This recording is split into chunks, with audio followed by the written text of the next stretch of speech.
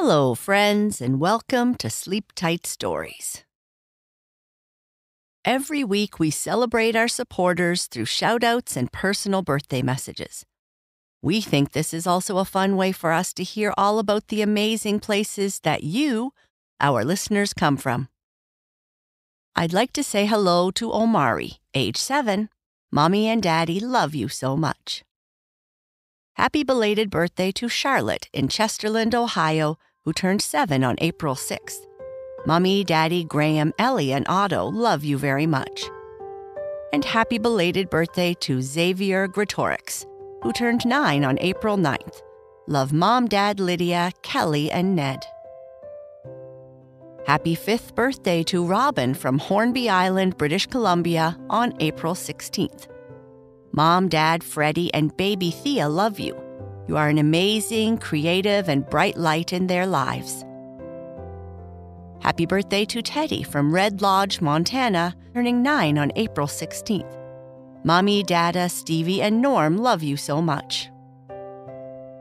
Happy birthday to Natalie Dieter, who is turning 8 on April 16th. You are our sweet ray of sunshine, and we love you so much. Happy birthday to Addie in Seattle, who is turning 8 on April 17th.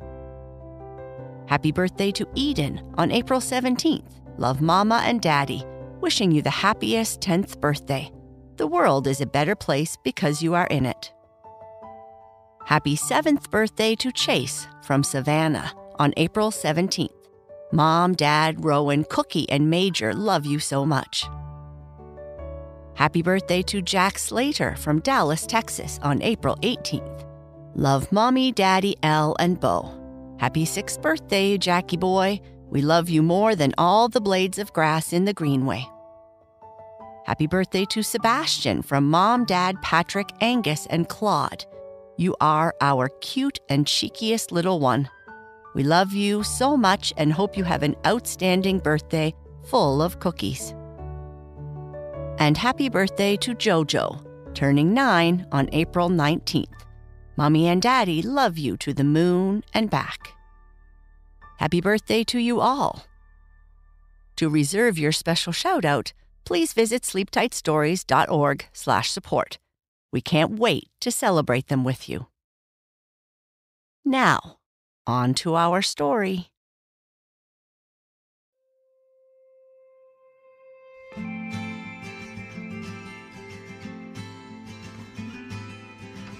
Libby and Margherita are back. Libby is enjoying school more, but still wishes they could do more math.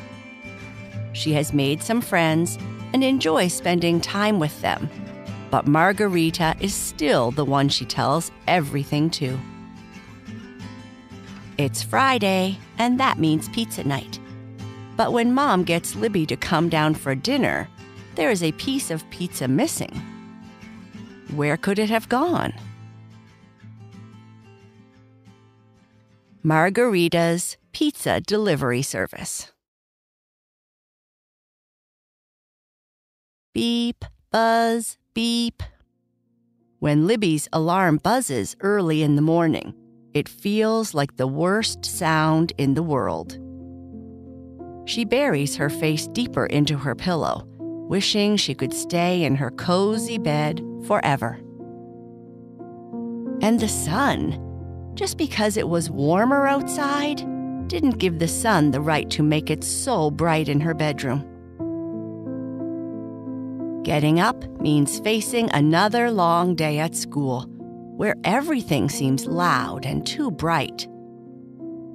Sure, she had some friends now, which was a definite improvement but she wished they could just come over to her house, read books, and play with Margherita.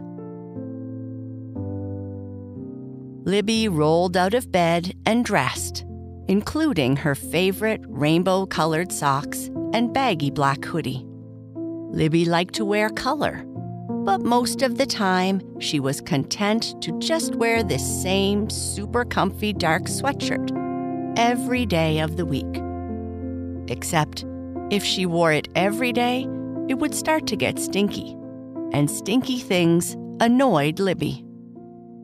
Putting on her headphones, Libby walked to the kitchen, where she smelled her least favorite food in the whole wide world eggs.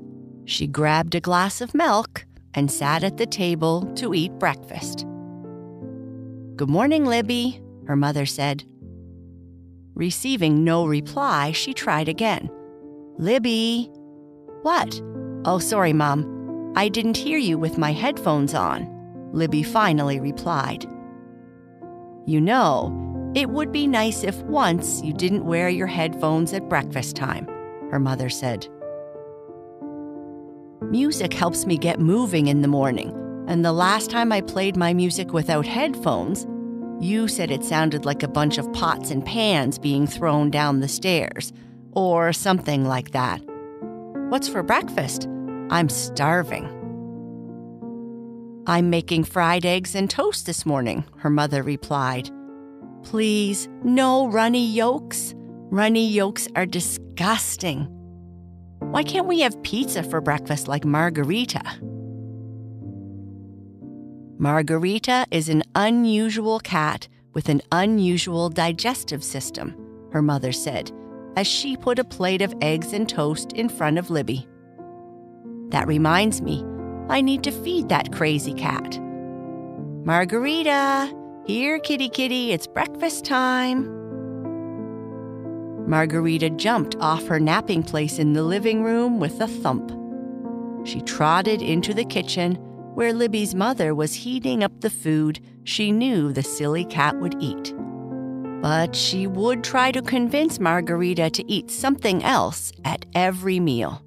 First, she tried to give Margherita a drink of milk, but she wouldn't drink it. Then she brought her a bowl of stinky tuna, but Margherita would not eat it. Then Libby's mother tried giving her chicken gravy cat food, but Margherita would not eat it.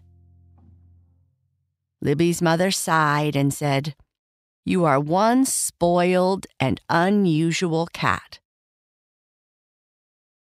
Just then, the microwave dinged, and Libby's mother put the plate with a slice of pizza on the floor for Margherita to eat. The cat started purring as she ate it all up. Then, Margherita disappeared as quickly as she came. She has been eating super fast lately, Libby said. She puts me to shame, and I eat fast. After inhaling her breakfast, Libby brushed her teeth, grabbed her book bag, and after saying goodbye to her mother, walked to school. She tried to say goodbye to Margherita, but she was nowhere to be found. School was as loud, bright, and boring as usual. Libby liked learning and generally liked going to school. She just wished she could spend more time studying what she wanted. Luckily, she had her new friends to talk to, and they felt much the same way. After school, Libby walked home as quickly as she could. It was Friday, which meant tonight was pizza night. And pizza was Libby's favorite food. Lately, they have been making their own instead of ordering from the nearby restaurant. She was also excited to spend time with Margherita. Though she had more friends now, Margherita was still the one she confided in the most. She was also the only friend who would let her put on bows and scarves that matched her orange fur. For some reason, her friends wouldn't let her do that, especially the boys. As long as there was pizza for her to eat, Margherita was up for anything.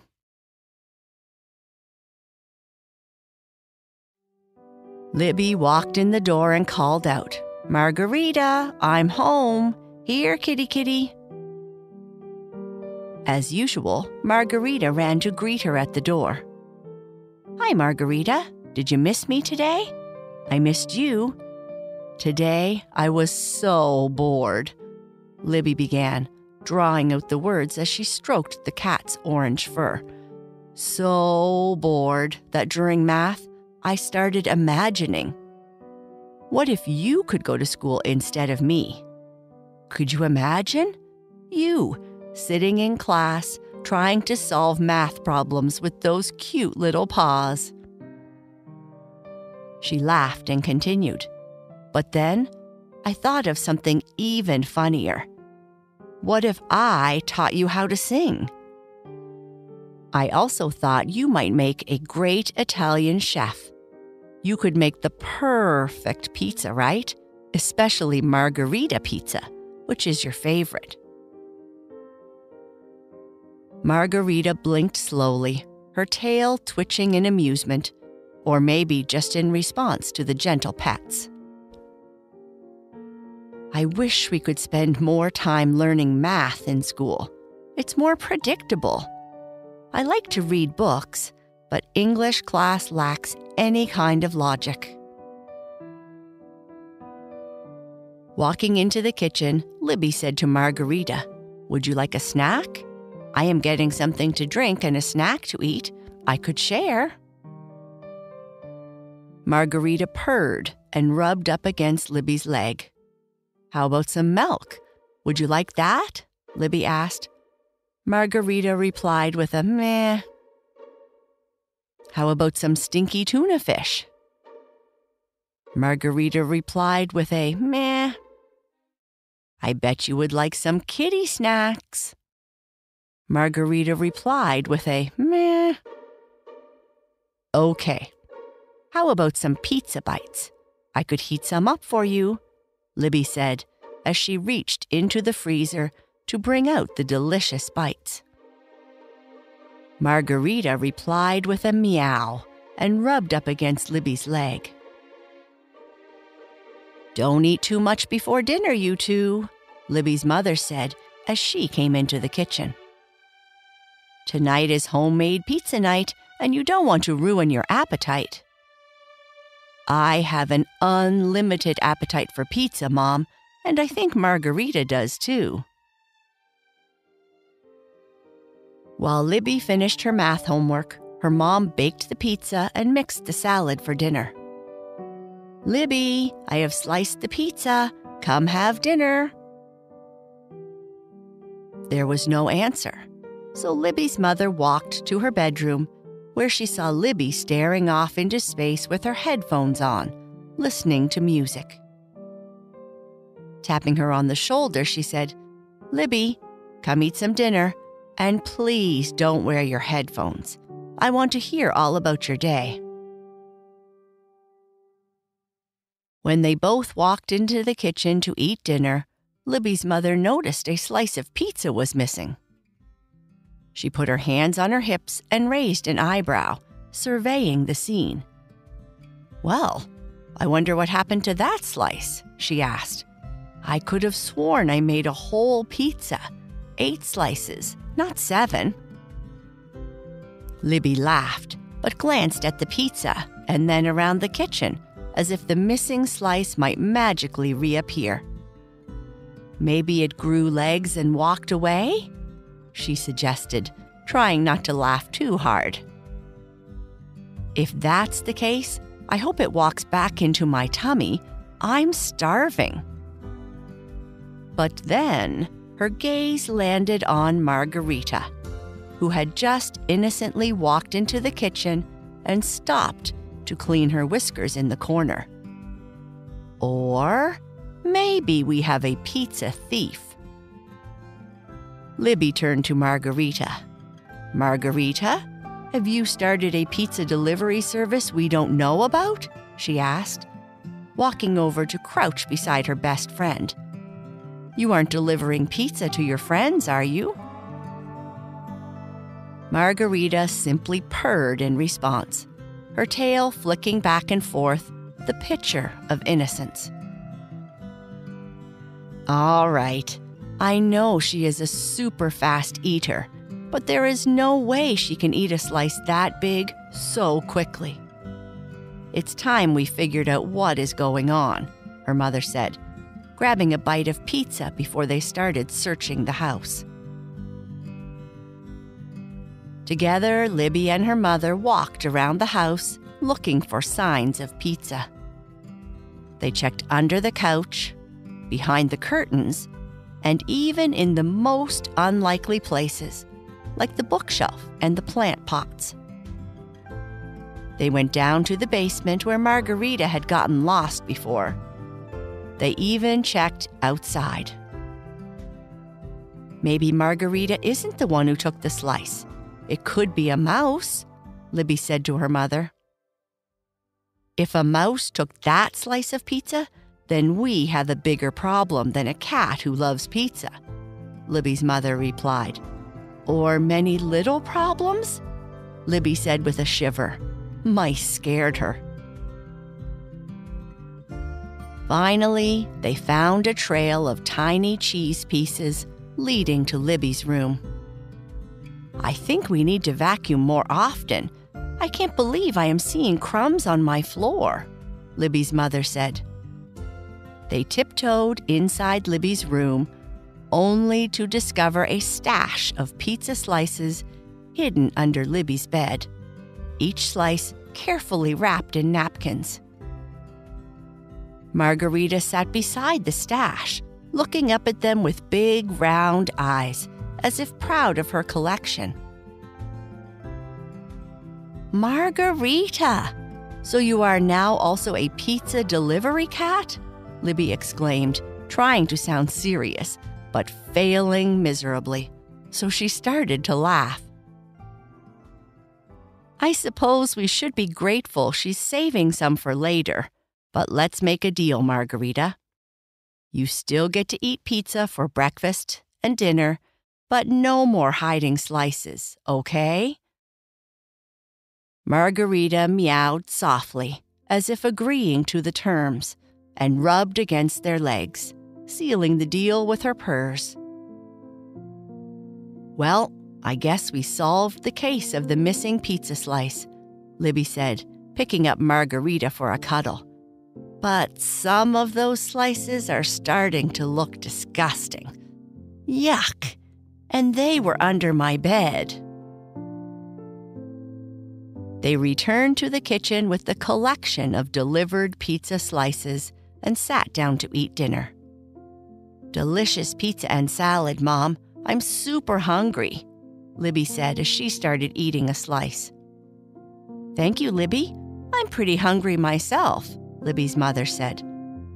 After taking another big bite, she continued.